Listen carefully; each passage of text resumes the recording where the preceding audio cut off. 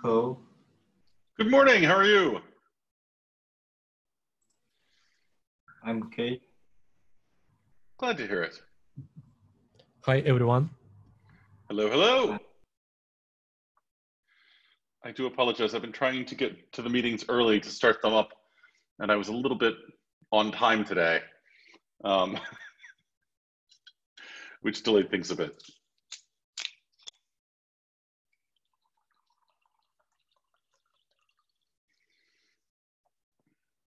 Well, so we'll wait a couple of minutes for everyone to show up. Hey guys. Hi Hey, how you doing? I'm fine. Hmm.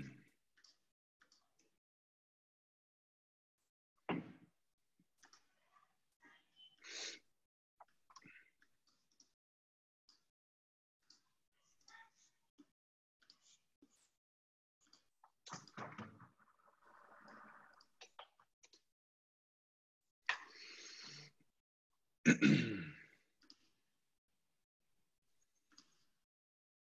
it about two more minutes, I think, for folks to turn up, and then we'll, we'll dive in. Lots of good stuff has been happening this week. So, among other things, I now have ping working correctly over the forwarder,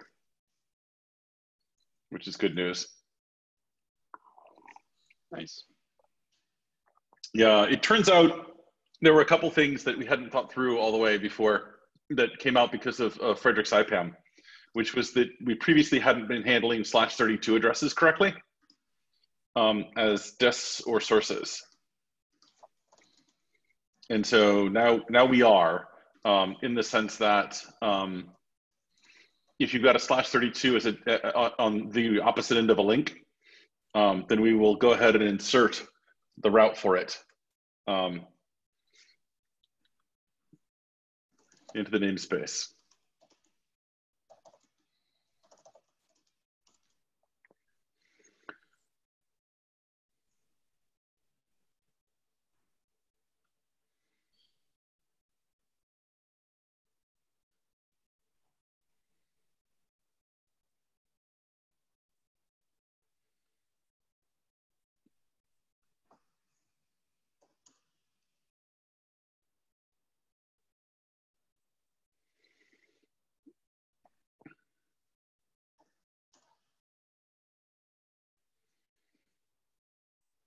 Okay, should we go ahead and get going? Let me go ahead and share the board.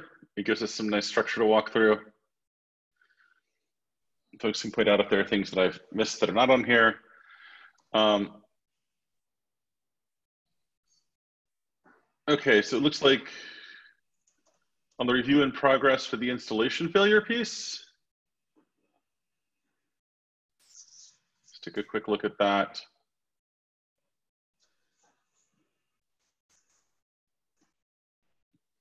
I think we're just waiting for folks to respond on the fact that we've merged 275. So I think this is, from the point of view of this call, I think this is done. So we should probably close it.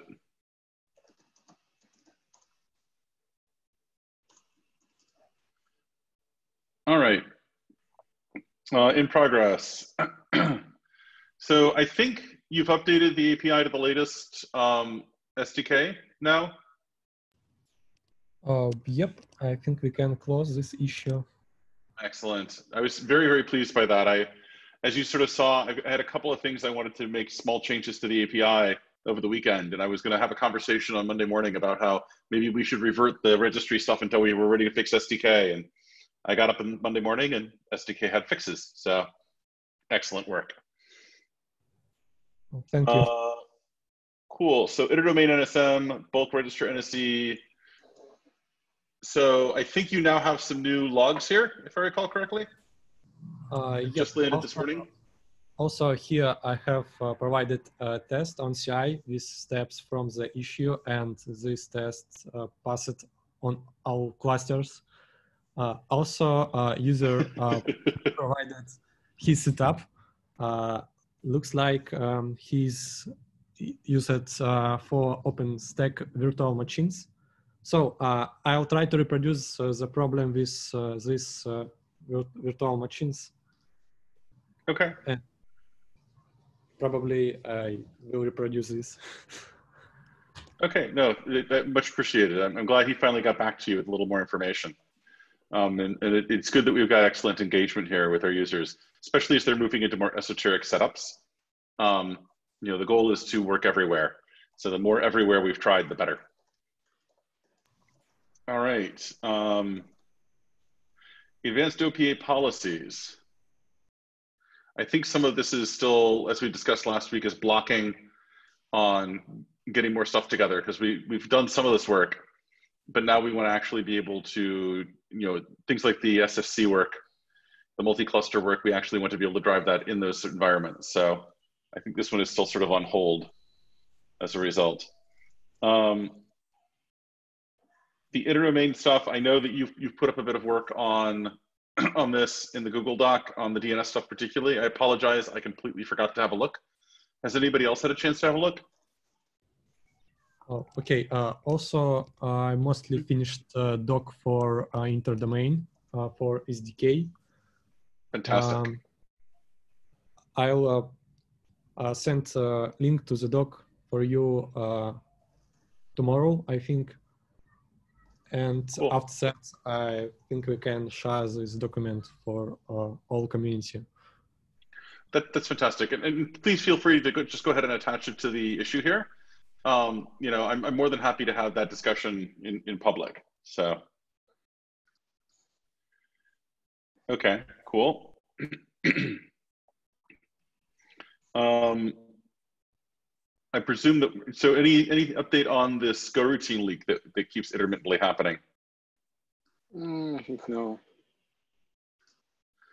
Okay. We will keep an eye on that. Um,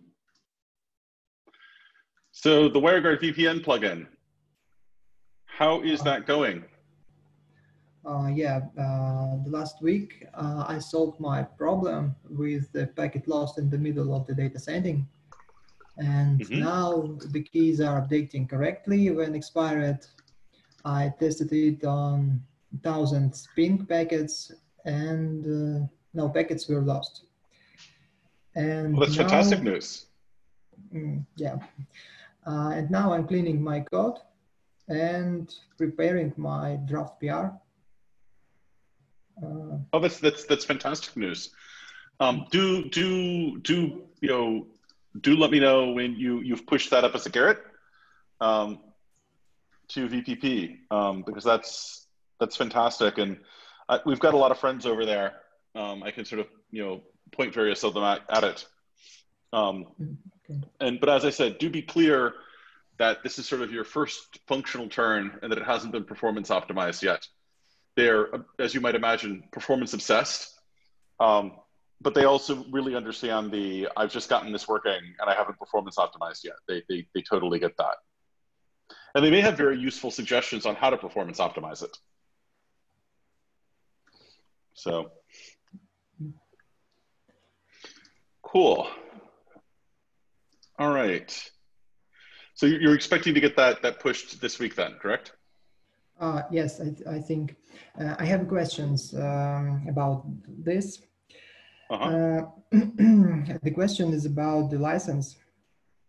Um, mostly I used code from WireGuard Linux Compat repo, and it has a GPL license. Oh, that is a very bad problem, actually. that is that is a very bad problem. Uh, we can't be copy and pasting from GPL licensed things, Mm, right? Because there there is no way that it will be acceptable upstream with any kind of a GPL taint. mm, mm. So, um, So we what need you're to going, find alternatives for these libraries for siphoning. yeah, well, exactly. Um, you you do need to find alternatives. Um, you know, it, it may just be that that you invite involve you know. So I guess the question is, this is libraries, correct? This is not co- copy and pasting of code. This is just libraries. Uh, yes, it's libraries. So. Okay. What, what, what are you using from the libraries, just out of curiosity? Um, I use a crypto library uh, for.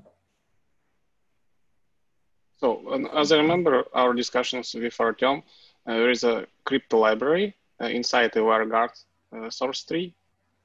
So uh, he reused this library to implement crypto functions of a WireGuard. Okay, so this is a library for ChaCha20, basically, if I recall. Not not not only ChaCha20, but uh, there is few protocols used inside the WireGuard. Okay. Um, yeah, I would I would start looking for alternatives to those that are either Apache or BSD licensed. You're more likely to find BSD licensed alternatives. Um, I would honestly be really, really, really surprised if there were not BSD licensed implementations of those crypto algorithms, particularly ChaCha20. The ChaCha20 guys, um, independent of the fact that they're good cryptographers, are also super brilliant at pushing adoption. And mm-hmm. Not having a, sort of a BSD license implementation would really slow adoption. Yeah, okay. So do look around. All of that said, by the way, um, I think you probably have done things in the right order of steps in the sense that um, first you want to get something working because you can always go find new libraries. Uh, so you've worked out your own problems there, and now you're just looking at how do you sub in proper libraries for it. Um, and you also, you know, it was very, very good of you to note the potential issue around licensing and raise it. That's going to make a big difference as well. Mm-hmm. So overall, you've done everything right. We just have a problem to clean up. Okay. Cool. Excellent. Anything else on the WireGuard VPP plugin? Mm, no, I, I think that's all. Fantastic.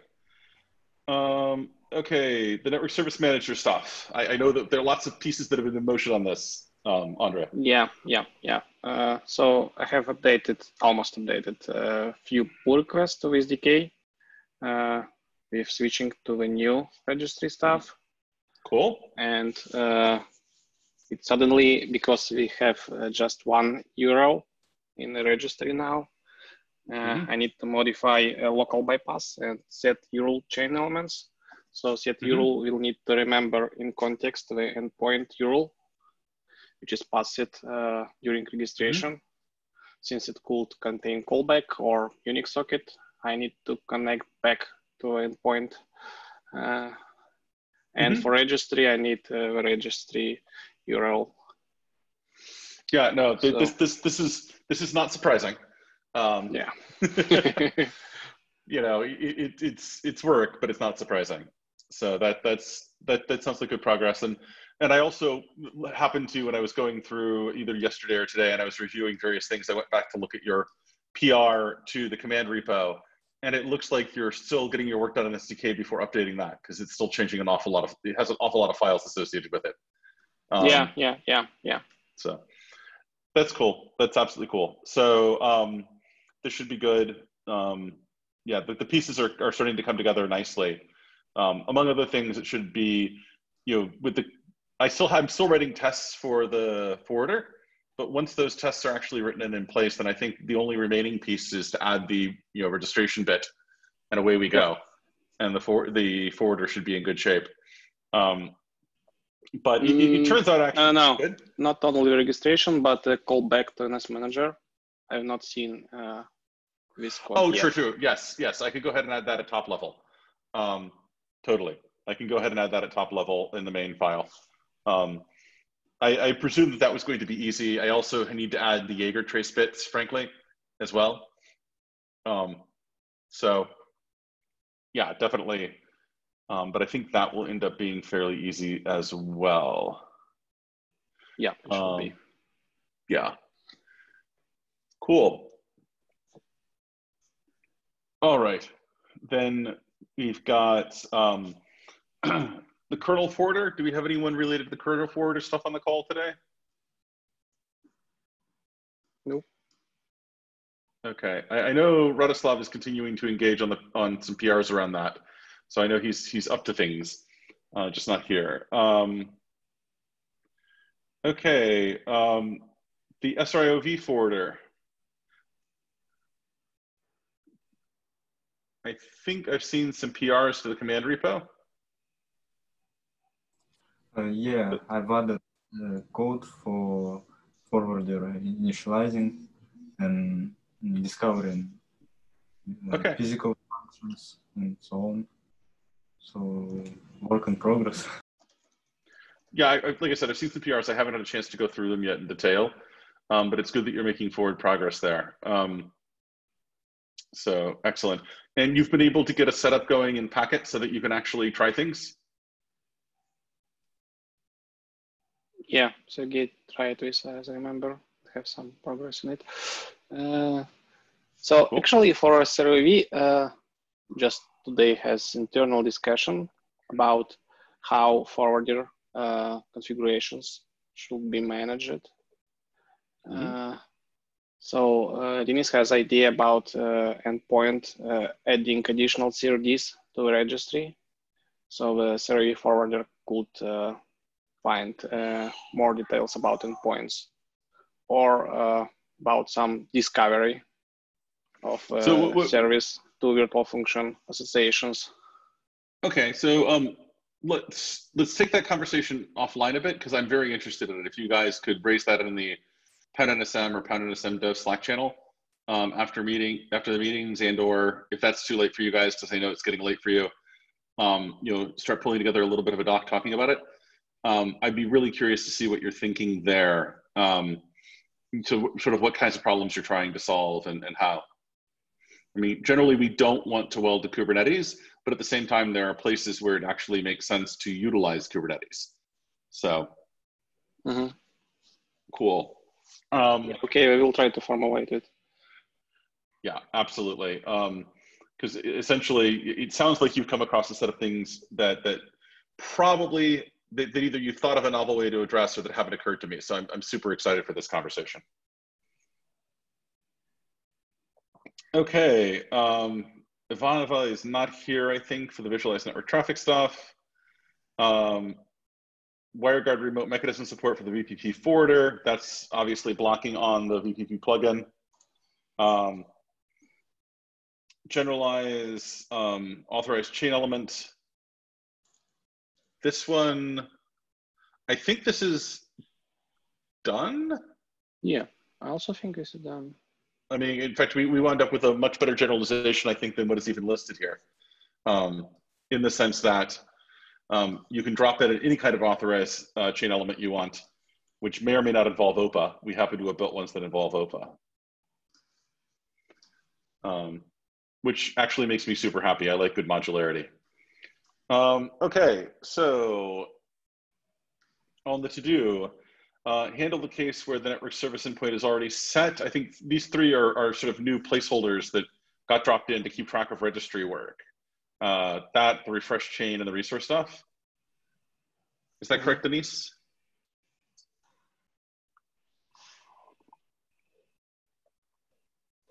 Denis? Oh, we lost Denise. Yeah. It looks like we lost him. yeah, yeah, yeah. We lost Denise. Yeah, I think, Okay. yeah. Cool. Uh, command forwarder, VPP agent. This one I'm working on, um, and it's getting really close. I mean, I'm, I'm literally to the point of, okay, now ping works, and I've got tests that, that do ping.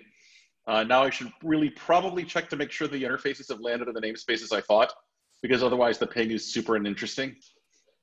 Because just because ping works does not mean that anything has gone right. Um, it's not the only consideration. Um, Yeah, it Okay. still could be bugs in VSDK as we found, I think yesterday. Oh, About, I- uh, I- if you do next request again, it will just uh, do a concurrency. yeah, no, that was super subtle. I was impressed. Um, I mean, but e- even with this one getting ping working, like I pushed a bunch of small PRs to S- SDK VPP agent where it's like, I'm actually assigning the IP addresses to the wrong side of the, of the to the wrong side. Oops. Or um, or you know that kind of thing. Or discovering, for example, that um, I need to have the the proper routes for slash 32s, for example. Um, so all of that was was super interesting. Um, but that it's coming together. Like I said, the tests I'm writing right now are things like checking the interfaces are in the right place, etc. Um, the other one that I may do in passing here is right now all of our cross connects are L2 cross connects, um, which are in, sort of intrinsically L2 payload. Um, and that's part of why I added the payload field to um, the network service endpoint. Uh, so the, the request, the connection and the request is so that we can, when we have an L3 payload, we can actually do L3 cross connects instead of L2 cross connects, which should actually make a lot of stuff go better. And that's usually, I think, what most people want. Um, okay, define and implement example test OP use cases. I think this is done. What do you think, Frederick? Do we have Frederick? You're muted, Frederick. Yeah, sorry, my system was not being responsive to my unmuting attempts. Mm -hmm. Yeah, okay. I think so. This one, I think we're um, we are. Yeah, I, I, saw that there were some use some uh, examples there. Um, I liked what I saw there, and so I think that we're we're good with this one. Um, so, is it good to close? Yeah, let's go ahead and close this one. Okay, cool. Uh, so authorization monitor chain elements. Um, I think this is still sort of hanging out. Um,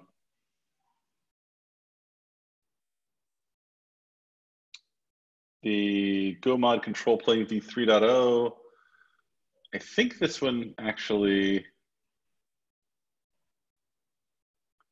yeah, that one still needs to be checked back on. Um, Uh, network service CRDs respond with old values when network service manager tries to find a match. Let's take a look.